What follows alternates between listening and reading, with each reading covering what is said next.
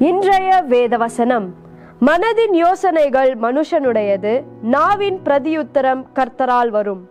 மனுஷனுடைய வழிகள் எல்லாம் அவன் பார்வைக்கு சுத்தமானவைகள். கர்த்தரோ ஆவிகளை நிறுத்து பார்க்கிறார். நீதிமொழிகள் பதினாறாம் அதிகாரம் வசனங்கள் ஒன்று மற்றும் இரண்டு. தேவன் தாமே உங்களை ஆசீர்வதிப்பாராக.